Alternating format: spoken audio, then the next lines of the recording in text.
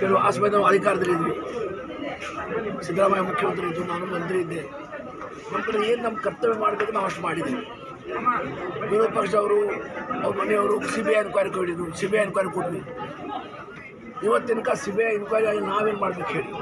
ಏನು ಆಡಿಟ್ ನಮ್ದು ಕೇಂದ್ರ ಸರ್ಕಾರದಲ್ಲಿ ಸಿ ಬಿ ಐದೆಲ್ಲ ಹಾಡಿರ್ತಾರೆ ಅದ ನಂತರ ನಾನು ನನ್ನ ಕರ್ತವ್ಯ ಆಗಿ ಏನು ಮಾಡಿದೆ? ಅದ್ರ ಬಗ್ಗೆ ನಾನು ಪಬ್ಲಿಸಿಟಿ ಬಯಸಿಲ್ಲ.